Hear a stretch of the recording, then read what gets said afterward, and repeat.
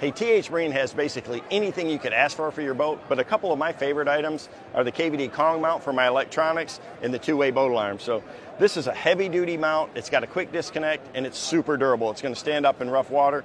The two-way boat alarm is going to keep all your tackle and equipment safe on your boat. Your compartments don't even have to be locking. It basically works by vibration. It's easy to install, it's pretty inexpensive, and it's really going to give you peace of mind and keep your gear safe from thieves.